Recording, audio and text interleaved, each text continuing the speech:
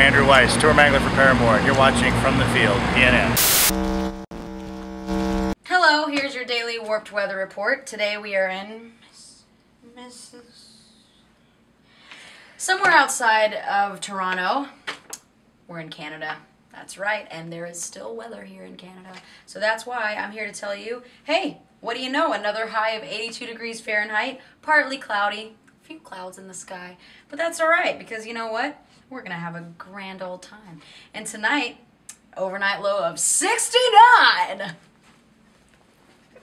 Now over to Jeremy, who's really taking it to the field because right now he is at Rogers Stadium.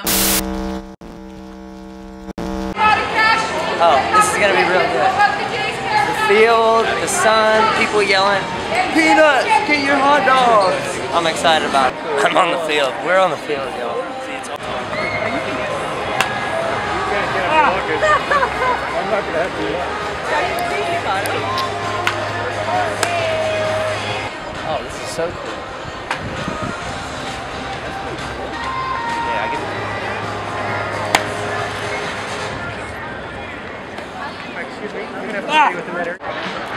It's a good thing that I listened to the weather this morning from Hayley because she was right. It's sunny. It didn't rain. Just because you're playing our song right now. Yeah. so it makes me excited. But, we played early so that we could come here and hang out. This is Jeremy Vision. Oh, Hold on, I want to look that way. It's what? Oh, Now this way.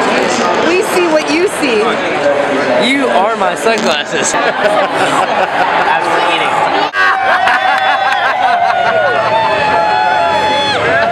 And now it's time for Ask Paramore! First question we have from at Parachesburger.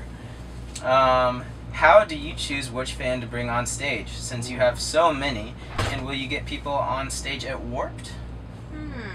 Well, seeing as, as though we are on the Warp Tour, yes, we will have people on stage with us at Warp Tour, and um, it's gonna be fun. I think the the main thing that we look for is just people that have a lot of energy and um, are jumping up and down. Sometimes it's the best sign that we see, but it's it's typically people in the front couple of rows because they're easier to get to.